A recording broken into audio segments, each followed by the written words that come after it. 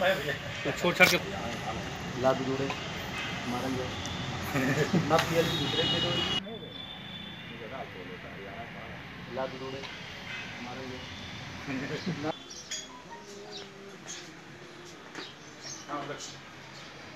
ठीक है। रुकिए हम आपको फ़ोटो कर दे रहे हैं रोहनिया थानांतर्गत अ, रोहनिया पुलिस के द्वारा एक डीसीएम पकड़ी है जिसमें हरियाणा की शराब जो है काफ़ी भारी मात्रा में जो है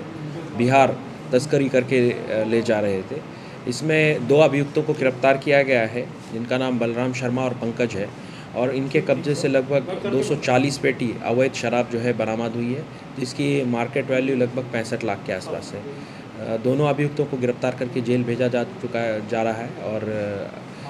जो बरामद शराब है उसके संबंध में आगे की कार्रवाई की जा रही है और इसके फॉरवर्ड और बैकवर्ड लिंकेजेस भी ट्रेस करके उनके खिलाफ भी जो है कार्रवाई की जाएगी। निगम से जो लगने वाले मार्केट्स हैं और जो मैन्युफैक्चरिंग और स्टोरेज के प्लेसेस है उन सभी स्थानों को सीओ और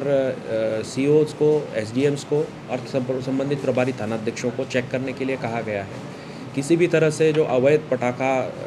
या तो स्टोरेज कर रहे हैं या मैन्युफैक्चर कर रहे हैं उनको टॉलरेट नहीं किया जाएगा उनको उनके खिलाफ प्रभावी कार्रवाई की जाएगी और जनपद में छापेमारी करके कई स्थानों पे इस तरह से अवैध स्टोरेज वाले लोगों के विरुद्ध जो है पुलिस ने कार्रवाई की है और आगे भी निरंतर ये कार्रवाई चलती रहेगी। लगने वाले जितने भी मार्केट्स हैं, उन सभी स्थानों पे भी चेकिंग की जाएगी और वहाँ पे फायर सेफ्टी के संबंध में जो भी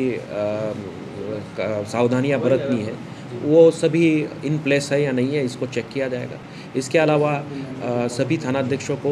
ये भी निर्देशित किया गया है कि प्रभावी रूप से पेट्रोलिंग गश्त अपनी बढ़ा दें, क्योंकि इस समय पे लोग मार्केट्स में जो है ज़्यादा संख्या में आते हैं। कैश की लेन देन भी ज़्यादा संख्या में होती है। तो ऐसी स्थिति में सभी लोग अपने अपने क्षेत्र में जो है भ्रमणशील रहे पिकेटिंग और थाने की पेट्रोलिंग जो है मज़बूत रूप से करें। और जो अपराधी छूट के आए हैं, उनके ऊपर भी जो है उनकी गतिविधियों के ऊपर नज़र रखें।